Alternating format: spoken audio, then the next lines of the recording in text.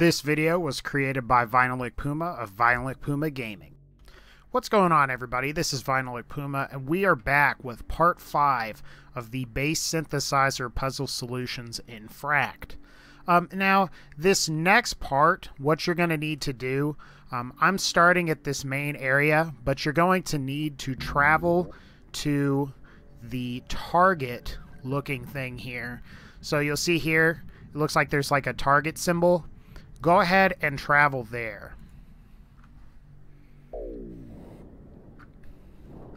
And of course, you'll go through this really cool animation.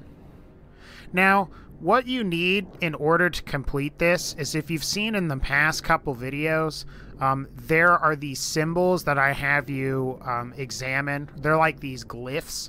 Um, you're going to need these in order to complete this because what you have to do is you have to tune the synthesizer and if you don't know what those are um, you are going to have some problems. But what i'm going to show you in this video is what the uh, tuning the proper tuning is. So um, even if you don't know watching this video uh, you'll know at the end of this video how to do this. So what you're going to want to do is you're going to go up here traverse all this. Um, and now there are two ways to get down to this uh, platform that I'm going to show you. You can either just jump onto it, or this will materialize in front of you. Watch. And that's really cool. Alright, so now what you're going to want to do, you see this panel, like in the lead synthesizer area. What you're going to want to do is you examine it and all this will come up. Just put in any pattern.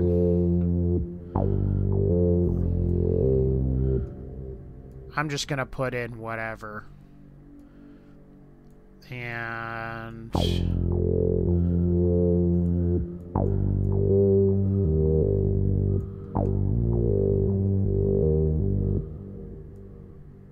Maybe I'll put this in. Alright, so the patterns themselves down here, like this MIDI information, is what I'm just going to start calling it now. Um, just put tones in here. It doesn't really matter what you use. Um, but now what you're going to want to do is tune the synthesizer. So tune this about here. Tune this one about here. Tune this one to about this area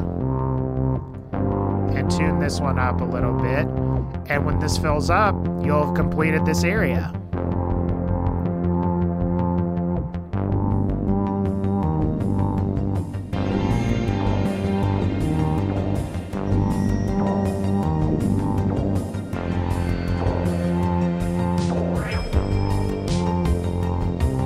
And that completes the bass synthesizer um, levels and puzzles. So, if you did like this video, guys, uh, please be sure to rate, comment, subscribe. It really helps out my channel. Otherwise, I'll see you guys later. Take care, guys, and have a good one.